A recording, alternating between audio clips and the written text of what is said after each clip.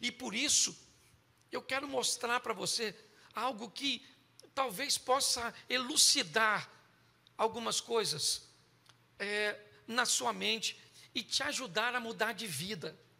Porque o grande desafio não é vir para a igreja. Não. O grande desafio não é ser membro de uma instituição. Não. Um grande desafio não é prestar um nível de serviço. Não. O grande desafio é ter um nível de mudança que faça com que outras pessoas sejam alcançadas por aquilo que me alcançou, que sejam atingidas por aquilo que me atingiu.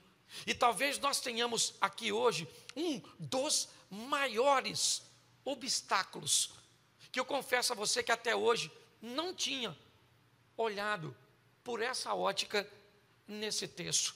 Coloca para mim, por favor, Marcos, capítulo 5, verso de número 2. Preste atenção. Marcos 5, 2.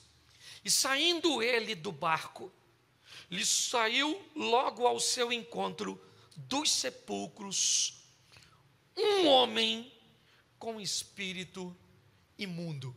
Repita comigo: espírito imundo. De novo, espírito imundo. Preste atenção em mim. Primeiro que esse texto ele é bem complexo se nós olharmos, por exemplo, o capítulo 4, verso 36. Bota aí.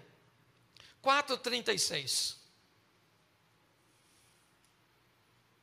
Isso, você está no 5, 2, volta por 4. Isso. E eles, deixando a multidão, o levaram consigo assim como estava no barco, mas havia também com ele outros barquinhos. Preste atenção, Cafarnaum ou Tábita, uma dessas duas cidades. Jesus está envolto numa multidão. Ele é popstar. Ele está maximizando o seu alcance de projeção e de expansão da mensagem. O ambiente é propício. Ele está lotado, um cultão.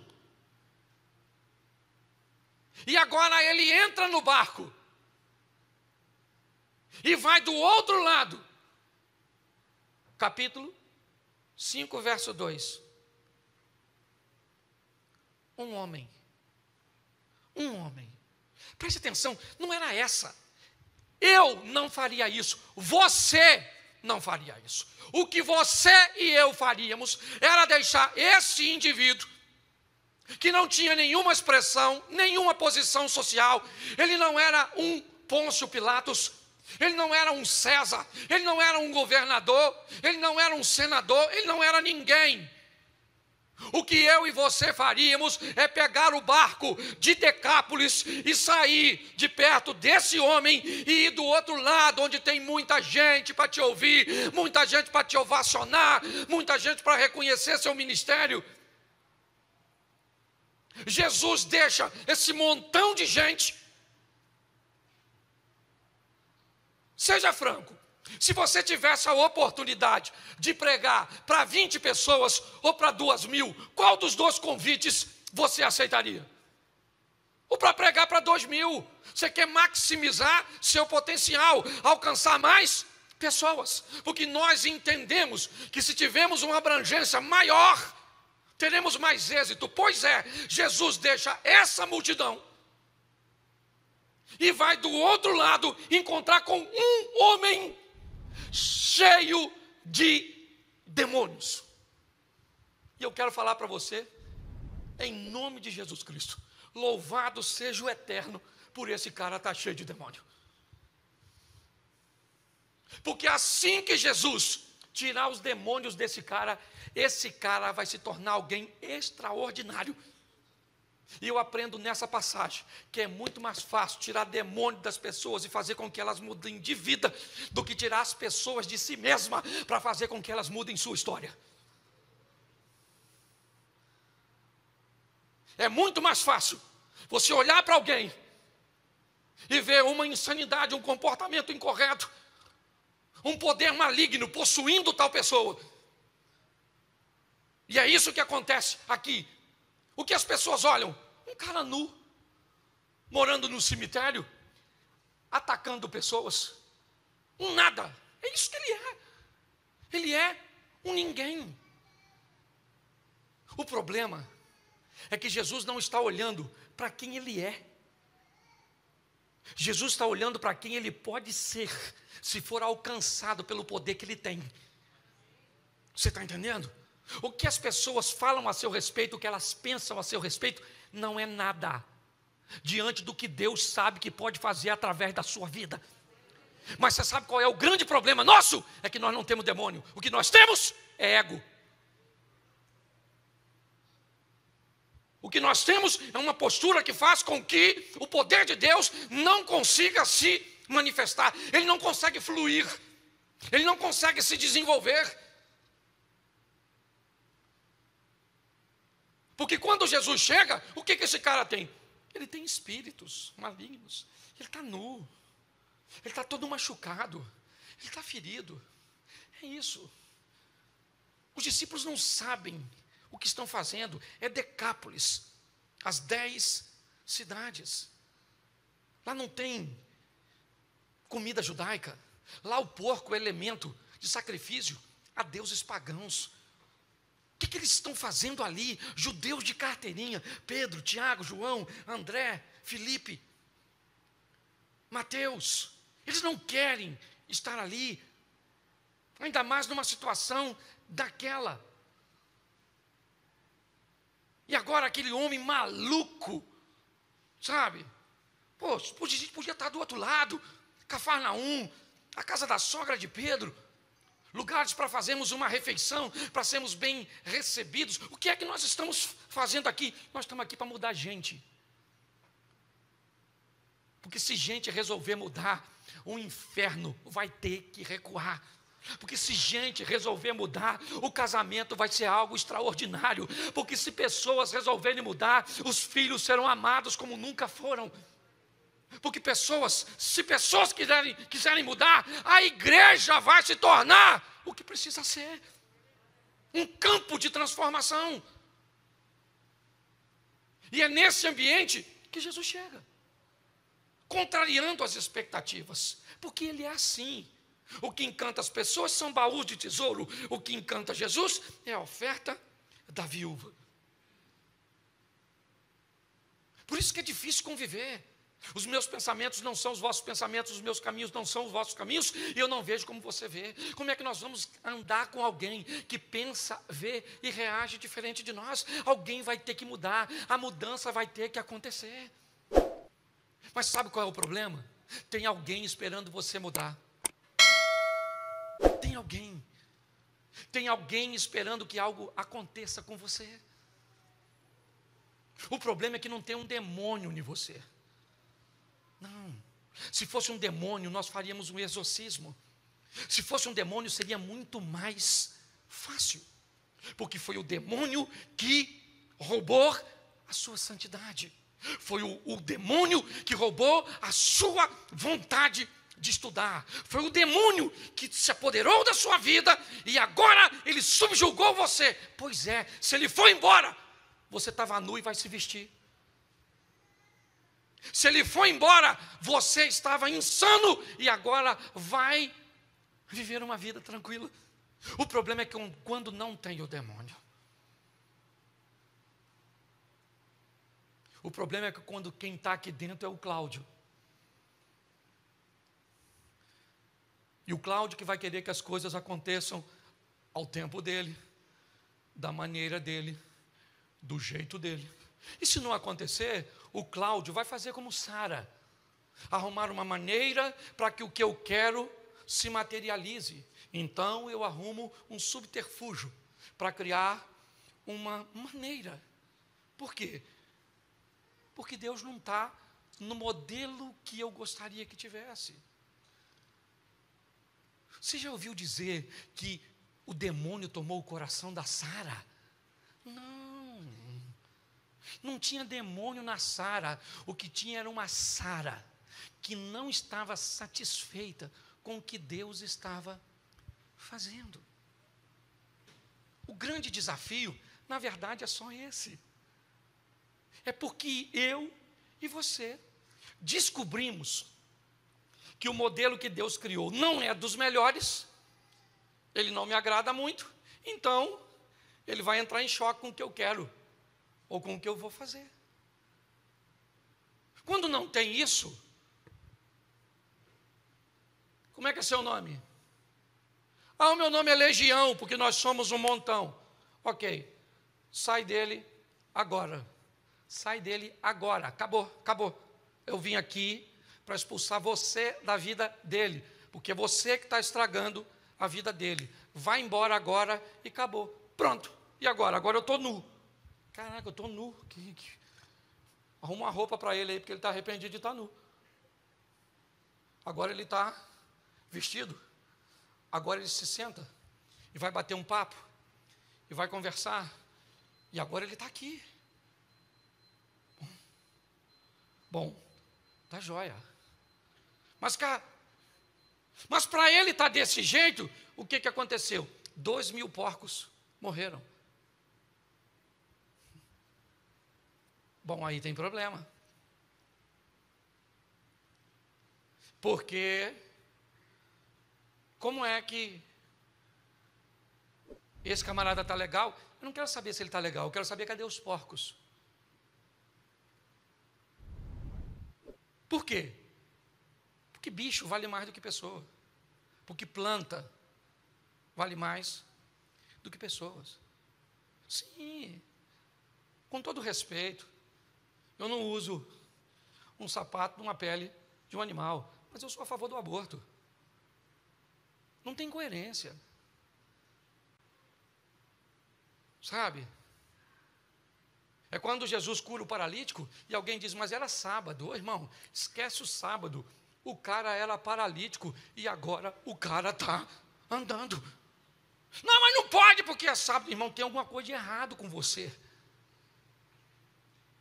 Tem alguma coisa de errado com você. Você não está entendendo o bem coletivo.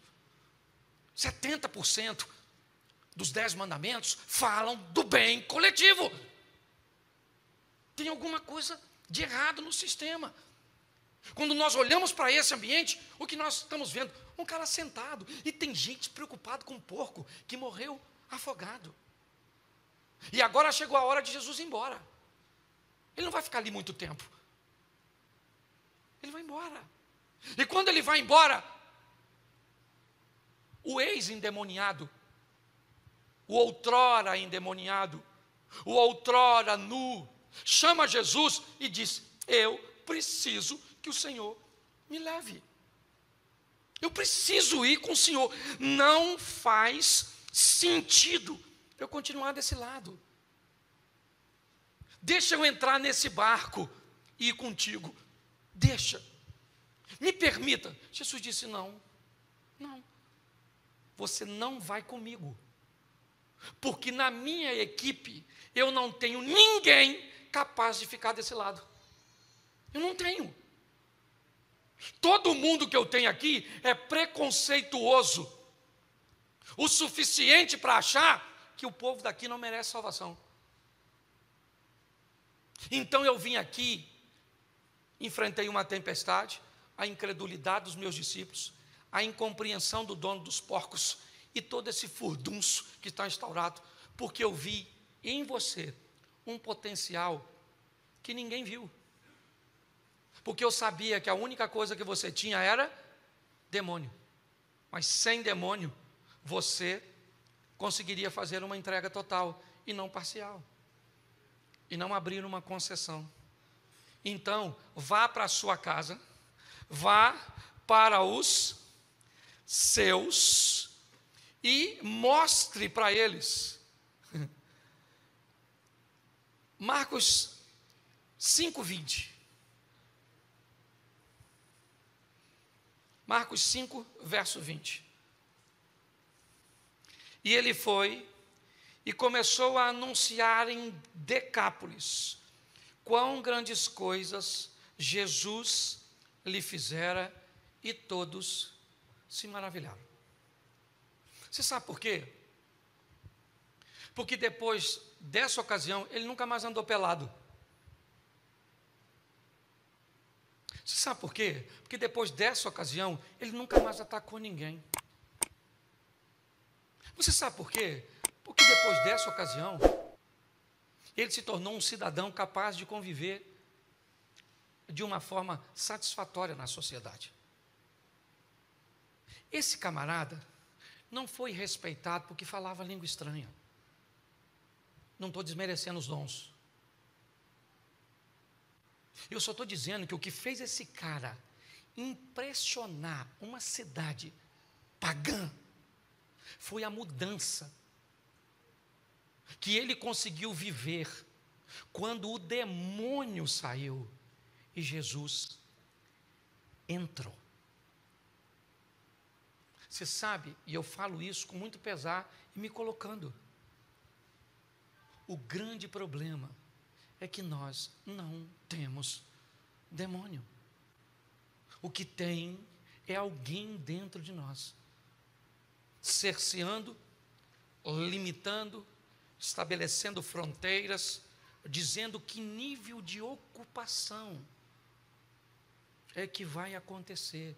Até aqui o senhor pode ir, até aqui o senhor vai, ó. No meu dinheiro, o senhor só vai até aqui.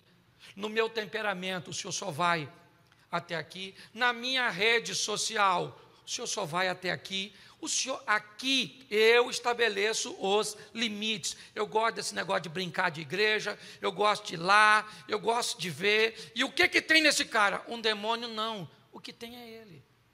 O que tem é ela. Aí ela vai postar um nude. Aí a postura.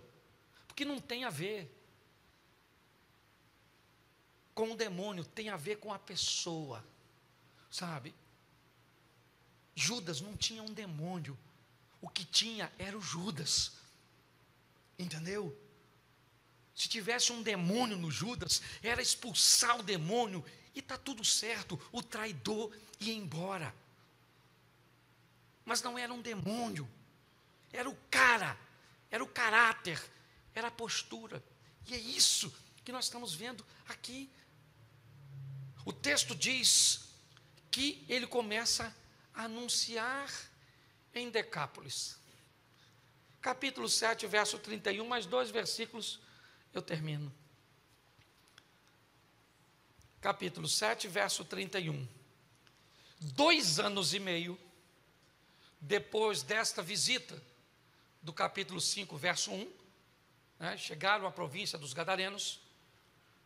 Dois anos e meio depois, Jesus volta a Decápolis, Tiro e Sidom, e ele vai pelo mar da Galileia, pelos confins de Decápolis. Ele vai retornar para Decápolis. O que vai acontecer agora? Ele vai curar um gago surdo e ele vai fazer a segunda multiplicação dos pães. E preste atenção nesse texto agora. Onde acontece a primeira multiplicação dos pães? Cafarnaum, sobram doze cestos, simbolizando o ministério de Jesus, as doze tribos de Israel. Segunda multiplicação dos pães acontece aqui, Decápolis, sete cestos vão sobrar, e, e preste atenção no capítulo 8, verso 9. 8, 9.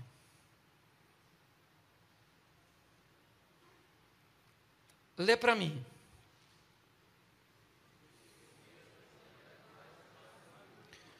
Os que comeram, os que comeram, eram quase. Tá.